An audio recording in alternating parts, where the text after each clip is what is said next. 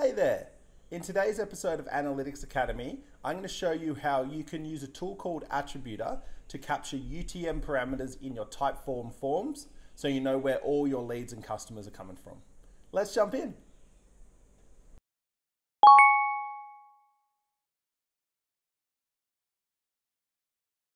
Attributer is a small bit of code that you add to your website. When a visitor lands on your site, it detects where they came from and saves the data in a cookie.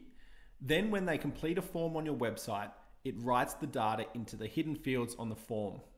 And finally, when the form is submitted, this data is captured and can be sent to your CRM and various other tools. There are a number of benefits to using Attributer. Firstly, Attributer passes through data on visitors from all channels, including organic search, organic social, etc. So you'll know where all your leads are coming from, not just those from your paid ad campaigns.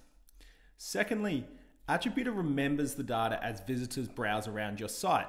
So no matter what page they complete the form on, the UTM parameters will always be captured. Thirdly, Attributer cleans the data as well. So even if some of your ads were tagged with UTM source equals Google and others were tagged with UTM source equals AdWords, Attributer would assign them to the paid search channel regardless. Now that you understand how it works, let's see how easy it is to set up. When you sign up for a free trial, you'll get given a bit of code to add to your website.